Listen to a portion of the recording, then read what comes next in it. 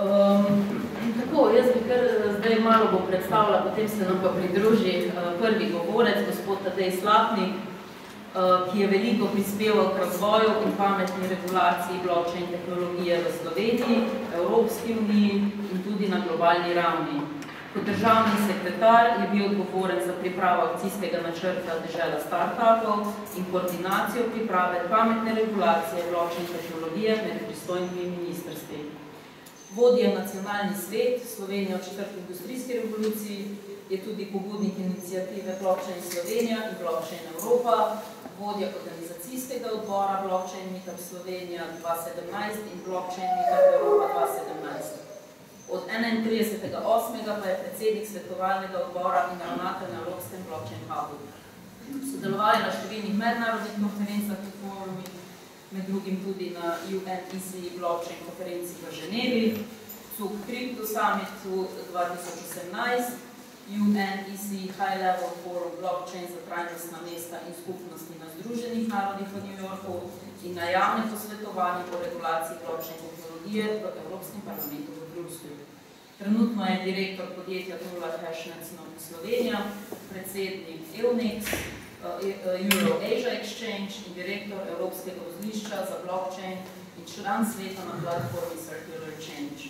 Uh, njegov današnji prispevek bo govoril o blockchain tehnologiji za doseganje ciljev trajnostnega razvoja 2030. Uh, predlagam, da se mi pridružite na lepa. Hvala lepa organizatorju najprej za povilo na današnji posvet.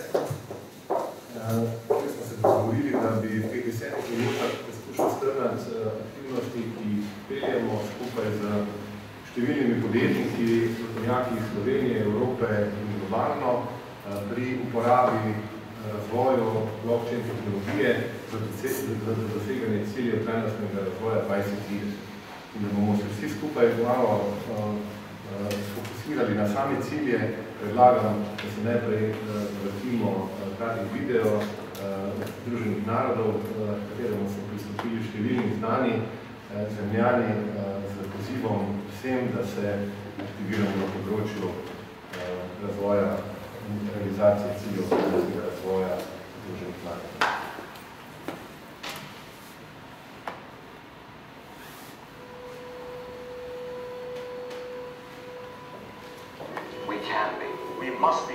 The generation to end extreme poverty. The generation Most determined, to fight injustice and inequalities. The generation that saves the planet from climate change. And this is how it will get done. The global goals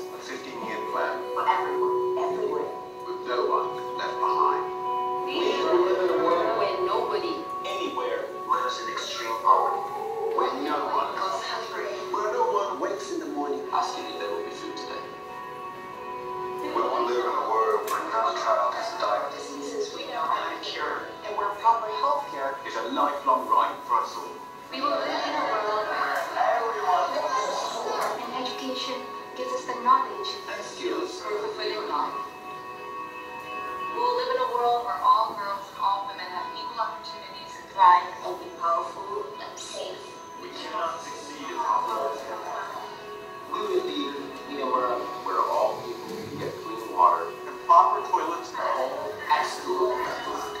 We there's energy for everyone Heat, light, and power for the whole planet. without destroying the planet. We will world where economies prosper and new wealth Lead to decent jobs for everyone. and we will live in a world Where our industry our infrastructure and our best innovations Are not just to make money, but to make our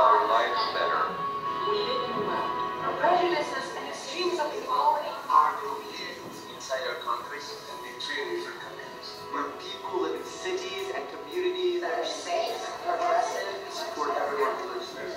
where we replace What we consume. Planet where we put back what we take out of the earth. We live in a world that is decisively rolling back. where we restore and protect the life in our oceans and seas.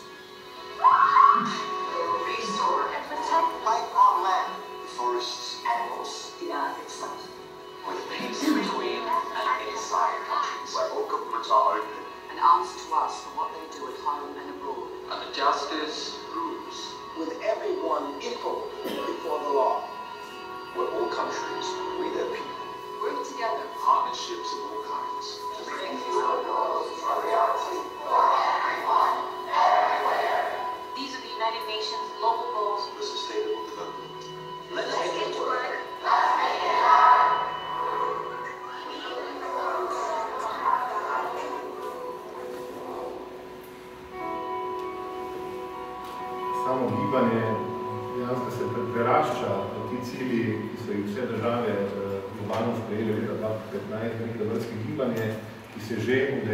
ki že vključuje tako posameznike, države, podjetja eh, in eh, kot rečeno, Evropski blockchain hub je postal neke vrste eh, vodilna organizacija na svetu, ki v sodelovanju z partnerji promovira uporabo blockchain tehnologije za doseganje teh ciljev.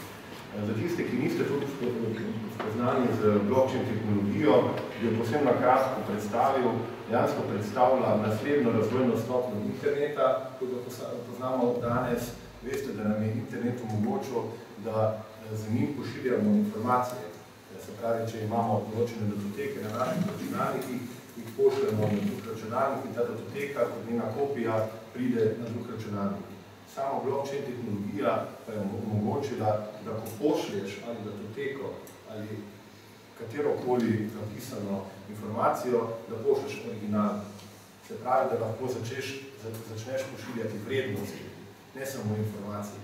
In uh, kot uporaba prvič blockchain tehnologije, verjetno najbolj poznane tako imenovane kriptovalute, od Bitcoina in potem vseh ostalih, ampak tu se uporaba tehnologije je še dejansko začela, sedaj se eh, blockchain tehnologija začenja uporabljati na, razli, na različnih področjih, eh, tako gospodarstva kot javnega upravljanja strani držav in zasebnih podjetij. Eh, Kako smo v Sloveniji prišli do spoznanja, da lahko na tem področju naredimo v Sloveniji ogromno, da imamo ogromno potencijalov, se je vse skupaj praktično začelo za tem posvetom, ki ga je bivši predsednik vlade, dr. Cerar, eh, organiziral leta 2016. Poimenovali smo ga Slovenija v četrti industrijski revoluciji, kjer smo pogledali, kje ima Slovenija priložnosti, kje smo šibki, kje smo močni. Takrat so številni udeleženci, tako iz podjetij kot iz področja raziskovalnih inštitucij, podali, da smo na področju blockchaina svetovni voditelji. Takrat ni bilo zavedanja še, tako strani vlade kot širše javnosti v Sloveniji, da smo imeli med praktično prvimi podjetji na svetu od leta 2010 dalje praktično Slovence, ki so razvijali zelo hitro, začeli uporabljati to tehnologijo in so dejansko globalni voditelji. Mi smo se odločili, da bomo to tehnologijo probali uporabiti pri tranziciji naše ekonomije iz linearne v krožno gospodarstvo. To je seja vlade, na katero je predsednik vlade takrat povabil tudi našega bivšega komisarja Evropskega.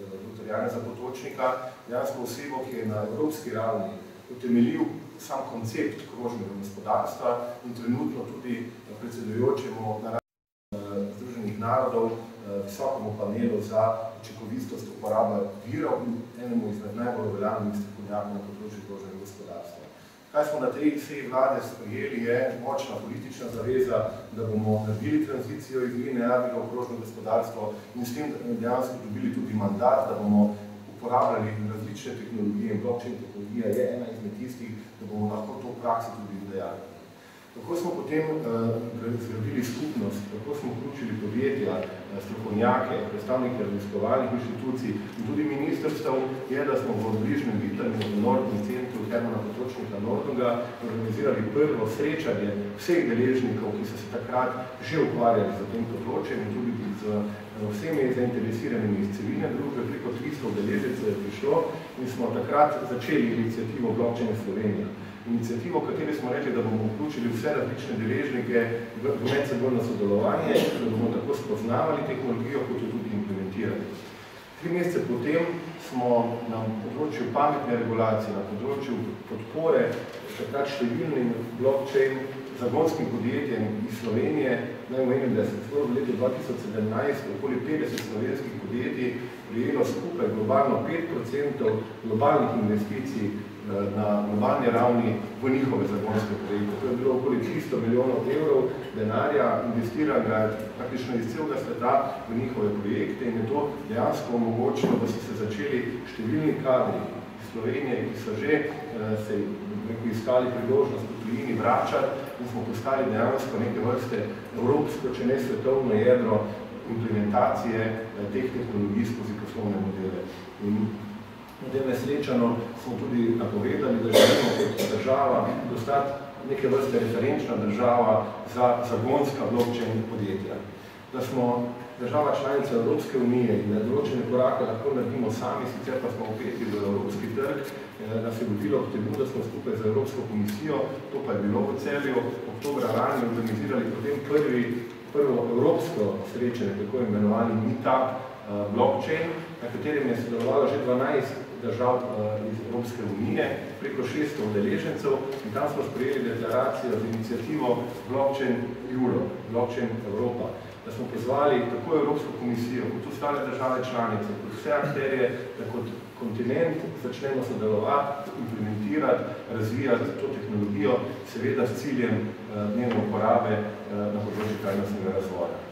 Kako zaznamuje blockchain tehnologija našo državo, je priča otvoritev prvega spomenika na svetu, blockchain tehnologija, ki je postavila podjetje BitStep iz Kranja, to je ena izmed največjih svetovnih svetovnih kriptomenjalnic. Mislim, da so bili pred kratkim, da so del svojega podjetja prodali za okoli 400 milijonov evrov investitorjem iz Azije, ampak uh, za tem, naprimer, za to otvoritvijo so tudi oni uh, kot globalno podjetje vrnili mesto v Kranju, kjer imajo tudi celotni razvoj, preko 200 zaposlenih, uh, en konček tudi nazaj in s tem tudi dejansko implementirali izpostavili na ta pomen. Kako v Ljubljani uh, razvijajo najsodobnejše tehnologije za že plačevanje z uporabo blockchain tehnologije računov, je tale fotografija, kjer smo povabili uh, dr. Cerarja na kavo, ki sem jo potem jaz uh, plačal že z kriptovaluto v Bitcoin City v Ljubljani. Tudi ta korak je bil prvi na svetu. Prvič, da je eno izmed podjetij na svetu naredilo takšno aplikacijo, da lahko uh, neposredno z njo že plačuješ uh, v, v trgovinah, v tem primeru v kavarni. Uh, ne bom preveč zgubo časa, kaj smo na področju regulacije naredili v Republiki Sloveniji, ker je teh aktivnosti ogromno, ampak najpomembnejše bi izpostavil dve, da smo to znanje, ki smo ga imeli, delili tudi na ravni Evrope, Združenih narodov in eh, zaradi tega vključeni v inicijativo eh, Evropske eh, komisije za, za ekonomski razvoj pri Združenih narodih, ki pripravlja globalno poročilo o pomenu in prispevki blockchain tehnologije za doseganje ciljev trajnostnega razvoja. Z njimi tesno sodelujemo, kot tudi razpostavljamo prvi raziskovalni konzorcij v Evropski uniji za razvoj uporabniške platforme za glasbenike. Glasbenikom bomo omogočili, da bodo lahko s to platformo dobivali neposredno plačene njihove avtorske pravice za njihovo predvajano glasbo. To bo velika, bomo rekel, prednost, ker vemo, da številni glasbeniki do sedaj uh, sicer avtorske pravice dobijo plačene, ampak kolektivne organizacije, ki jih njihovo imeno uh, pobirajo, ponavadi uh, vzamejo velik, velik velež uh, in uh, tisti denar, ki bi sicer mogel priti do avtorov, navadi je izgubljen. Uh, pripravili bomo tudi zakonodajo uh, in dejansko v naslednjem letu Slovenijo še naprej držali med bolj progresivnimi evropskimi državami na tem področju.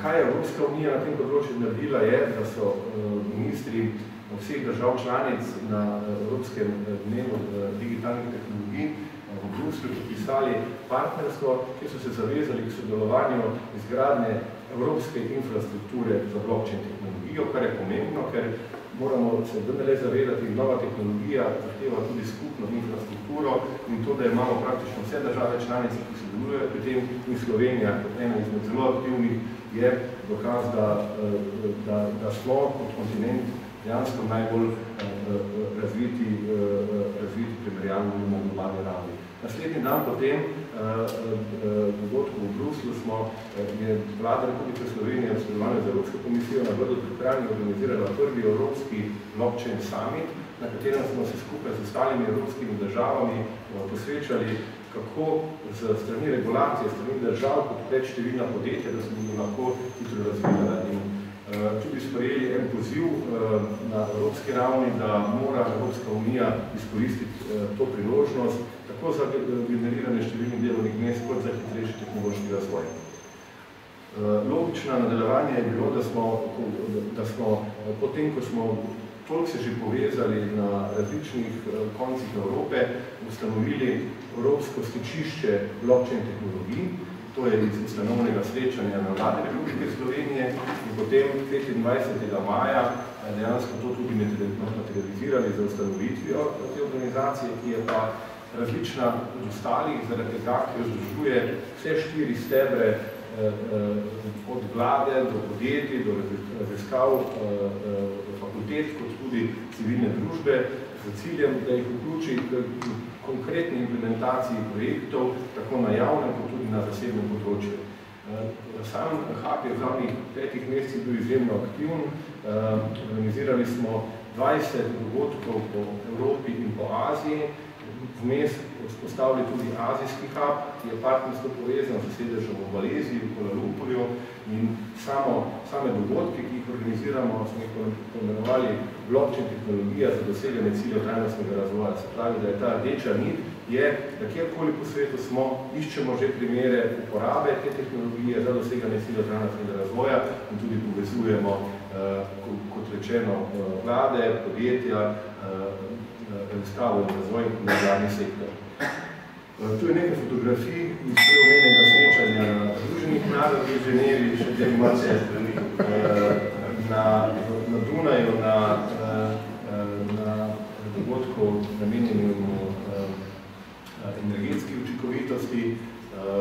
Nadalje je pa tule ena skica, ki vam mogoče praktično pokaže, kako smo z različnimi industrijskimi revolucijami prihajali tudi kot družba iz neke vrste centraliziranega upravljanja družbe v decentralizirano upravljanje.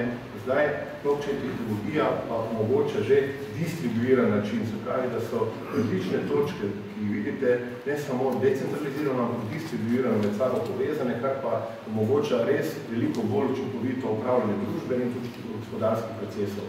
Tu so cilji trenostnega razvoja, ki so bili prej video predstavljeni, tu je pa nekaj, ker mi koje časa eh, primerov že uporabe, eh, ki jih razvijajo v večini, so to slovenska podjetja, CashNet podjetje, podjetje eh, startup, ki ga vodim jaz, ki po desetih letih uporabe blockchain tehnologije razvija nov algoritem, ki je veliko bolj energetsko učinkovit od dosedanjega Dosedanji način, verjetno ste slišali, zahteva ogromno električne energije za potrebovanje teh blokov, je zaradi tega tudi zelo netrajnosten, medtem ko z rešitvijo, ki pripravljamo naša podjetjo, dosegamo to praktično brez, eh, eh, z minimalno porabo električne energije, bistveno hitreje, z bistveno hitrejšimi transakcijami. Podjetje Sun Contract je prvo slovensko podjetje, ki na področju Eh, električne energije omogočilo platformo, da lahko prvič na svetu eh, posamezniki med sabo trgujejo z viški električne energije. Če ima kdo od vas, na primer, sončne celice na svoji eh, hiši, jih je do zdaj svojo energijo, ki mu je ostala v mrežju, mogel podariti. Zato platformo lahko te viške tudi prodajajo. So svetovni voditelji na tem področju. Na, na naslednji primer je podjetje Origin Trail, prav tako eh, ekipa mladih iz Maribora in iz Velenja, ki so naredili, eh, razvijajo platformo za sledenje izvora hrane. Za to platformo bodo lahko zagotovili, da je naprimer tisto jabolko, ki je prišlo iz tistega sadovnjaka, eh, potem v to trgovino, do tega kupca, da bodo zagotavljali, da je to res eh, ta izvor. Eh, potem na področju zdravstva je podjetje iz Kranja, ki na primer že razvilo v begunskem centru v Jordaniji eh, platformo za uporabo in eh, izhranjevanje osebnih zdravstvenih podatkov beguncev v tem primeru, eh, zelo napredno, zelo učinkovito in že razvija potem tudi za rabo tako na Sloveniji kot tudi na evropskem trgu. Če ste se srečali za to, direktivo GDPR o osebnih podatkih, tako imenovano, ki kar precej preglavic povzroča tako podjetje kot posameznikom. Imamo tu podjetje, ki je ustanovilo podjetje Valikon, ki bo naredilo platformo, ki bo omogočeno na, eno, na, ene, na ene strani podjetjem, da uh, uporabljajo v skladu z to zakonodajo uh, posebne podatke, predvsem pa posameznikom, da bomo lahko začeli zaračunavati uporabo osebnih podatkov tako malim, velikim, srednjim uh, podjetjem, okolikor jih bodo uh, tudi uporabljali. In če zaključim z profesorom Mohamedom Junusom, Nobelovim nagrajencem za mir in utemeljiteljem socialnega podjetništva, eh, tudi sicer globalnim eh, advokatom, zagovornikom, promotorjev, promotorjem doseganja ciljev trajnostnega razvoja pri Združenih narodih, s katerim sodelujemo od letošnjega poletja v sklopu inicijative za razvoj Eh, socialnega podjetništva, novih tehnologij eh, in, eh, in vključevanja mladih pri doseganju ciljev trajnostnega razvoja.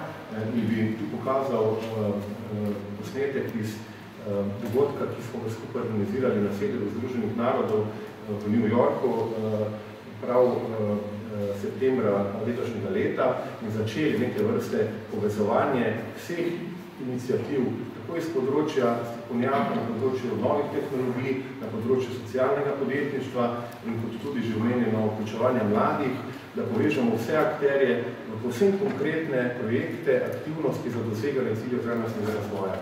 Tako da tu na tem mestu se zagotovo ponujam roko sodelovanja in me tudi veseli, da se v celju za tem prostorom, za, za, za temi dogodki eno novo jedro eh, posameznikov ustvarja, ki bo lahko se ta mozaik aktivnosti vključilo. Eh, zagotovo so tudi potencijali, da neke lokalne, regionalne, nacionalne eh, izvajamo, povežemo tudi globalno, seveda s ciljem zagotavljanja in uh, uresničevanja ciljev trajnostnega razvoja 2030. Hvala za vašo pozornost.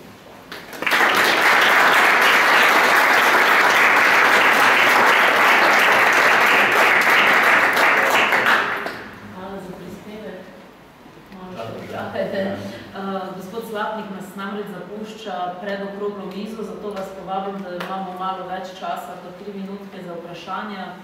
Uh, prosim, obiskovalci. Ja, jaz bi vprašal, da je govora o tem, kako bo Slovenija začela razvijati svojo četrto industrijsko revolucijo, pa me zanima, zato se bomo vključili v te procese, zakaj, glede na to, da ste, niste več v vladi, zakaj se ne naredi ena uh, celovita strategija, da bi mi razvijali tudi tiste veje, pri katerih, uh, bom rekel, strokovni tehnološki nastavki že obstajajo. Recimo, ne, imamo vrhunski uh, inštitut uh, naravoslovni Jožef Štefan, pa še kaj, ne, zakaj recimo se tukaj ne poskuša narediti nekega preboja na področju nanotehnologije pa biotehnologije. Potem imamo dobro razvito farmacevsko industrijo, ne, pa tukaj, kot jaz vem, recimo Krka, ne, Leke in tako Novartisov, recimo ne dela nič uh, onkraj generikov. Zakaj se tukaj nič ne naredi? Vidite, se popolnoma strinjam z vami. Je tudi uh, škoda, da dr. Molja ni iz inštituta Jožef Stefan, on vodi tam katedro uh, oddelek za umetno inteligenco, ki je svetovno najbolj uveljavljen inštitut na področju umetne inteligence, tudi sam vodi na ravni UNESCO posebno delovno skupino za pripravo odprtokodnega izobraževanja v uporabo umetne inteligence, Ampak kaj se nam dogaja? Točno to, kar ste rekli. Mi imamo ogromno posameznih na posameznih področjih šampionov. Izredno ogromno znanja, ampak nimamo to na ta način povezano, kot bi bilo potrebno, da bi lahko skupaj, pa preplet v četrti industrijski revoluciji, gre v preplet vseh teh, teh, teh tehnologij, da imamo uh, big data, imamo umetno inteligenco, blockchain tehnologije, uh, imamo internet stvari, imamo vsa ta področja in če tu ni uh, tega prepleta, potem ni učinkov takih, kot bi bili. Razlog, da jaz nisem več, da v tej vladi je bil ta, da ko so se sestavljali novo vlado, sem predlagal, da bi tako zdajšnjemu mandatarju kot ostalim strankam, ki so delali koalicijo, da bi naredili ministrstvo za prihodnost. V tem ministrstvu za prihodnost smo domišljali, da bi združili aktivnosti na horizontalni ravni in povezali verjetno v tej smeri, kot smo vi razmišljali, ker bi nas to kot eno malo težavo, ki lahko ne stvari, veliko hitreje naredili, kot ena velika Nemčija, še bolj postalo, še bolj uveljavno. Žal ste videli, da so komaj tudi dobili potrebno podporo za sestavo nove vlade in so, se niso odločili za tako rad. Jaz še naprej zagovarjam, da bi to bilo zelo koristno in da bi to lahko dodatno še pomagalo takšnim uh, inicijativam, na katere ste omenjali, da bi lahko tudi s podporo potem uh, države, pa celega aparata, bile še uspešnejše. Je pa res, da kljub temu vse dobro dogaja, uh, vem, da bo že sklopo UNESCO, mislim, da bo že svetno dobil uh, vse tudi Slovenija, globalni sedež uh, za umetno inteligenco na področju, uh, na, na področju izobraževanja na ravni drugih narodov, v Ljubljani, sem tudi na nekaterih drugih področjih, tudi okrožno gospodarstvo je takšno, da bo sedež Evropskega sličišča za okrožno gospodarstvo, ki je upeto v globalno platformo, platformo All Economic Foruma, tudi pri nas, ampak kot rečeno, bo treba, bo treba tudi strani upravljavcev to na ta način povezati, ker bodo potem tudi učinki pa sinergije večji.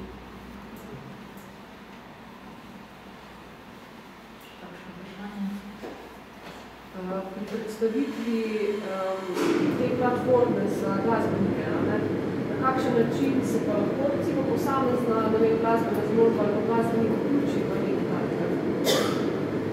Iniciativa se imenuje Music Now, ima tudi svojo spletno stran, preko 4000 različnih ali združen, ali podjetij, ali raziskovalnih inštitucij je že noter, je tudi vstopna točka v to iz Slovenije Evropski blockchain hub, sicer je pa uh, odprto ne, in da bo predvsem uh, pomembno, da bo v približno dveh letih bo platforma razvita, da bo točno to, da bo velika zaveščenost teh združen uh, uh, glasbenikov, da bodo, da bodo poznali inicijativo in da se bodo pravočasno vključili. Sicer pa je pa kot spletna stran že stoji, uh, pa kontaktna točka, to je praktično Evropski blockchain hub, Tu bi na primer povedal, da imamo slovensko podjetje, ki je tudi blockchain podjetje, ki je že naredilo, Viberec se imenuje, je že naredilo platformo, ki povezuje preko 250 tisoč glasbenikov iz celotnega sveta, vse organizatorji koncertov in tudi z, rečemo, poslušalci glasbe in s to platformo, na primer, lahko nek ne, ne glasbenik zelo z lahkoto dobi uh, možnost nekje nastopati ali pa jaz kot uh, oboževalec določene glasbene skupine zelo hitro pridem do tega, da si kupim karto na, na eno od koncertov. Ampak oni že delajo te smeri, niso šli pa tega koraka naprej narediti, ki je na področju avtorskih pravic, zaradi tega, ker tu mora biti pa baza kot taka v skupnem javnem upravljanju uh, in to se bo zgradilo in bo kar velika revolucija, ker dejansko se bo najprej to naredilo na področju glasbe, potem na področju celotnih kreativnih industrij, vemo, da, da to kot digitalne avtorske pravice so avtorske pravice, ki bodo dejansko v celoti prihodnosti in bo zadeva zelo, zelo pozitivno očakovala. Mogoče še eno vprašanje?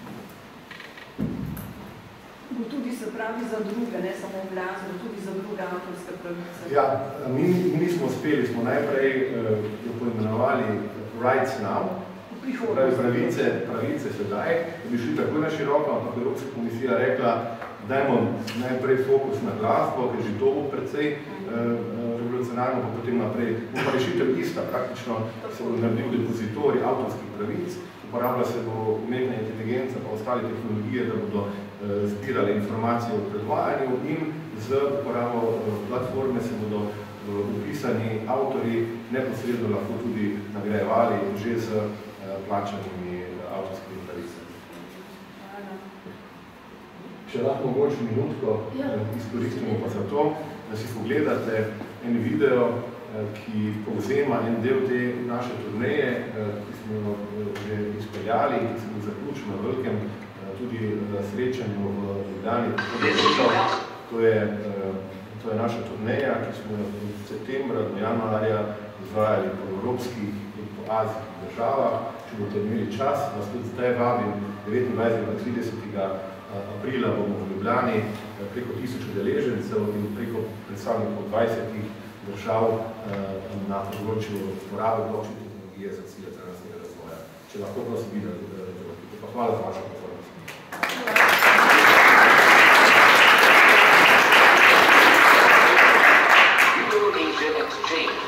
Tour and Summit, Blockchain for Sustainable Development Goals,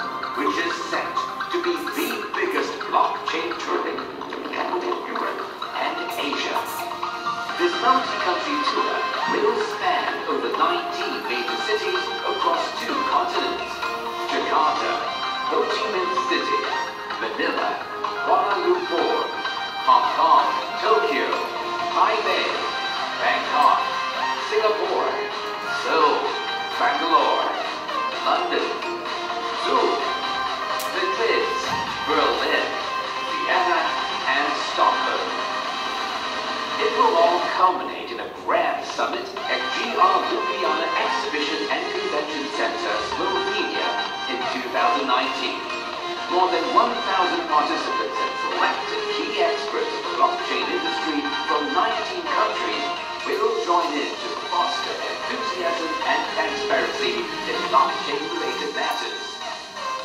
Fortify your understanding of the latest blockchain trends and technology with in-depth lecture series, panel discussions, discovery sessions, and networking opportunities, among other exciting brain-picking activities. This is set to be the blockchain event of the year, setting benchmark on an international standard. This event is proudly brought to you by the European Blockchain Hub, strategic partners, tourism partners, corporate partners, government sponsors.